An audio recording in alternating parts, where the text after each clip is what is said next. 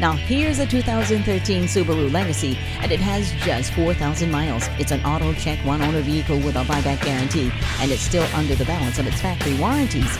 It gets 32 miles per gallon, and with its all-wheel drive system from Subaru and the heated seats and brake assist and stability control, it won't be around for long. Come on in and test drive this Subaru Legacy today.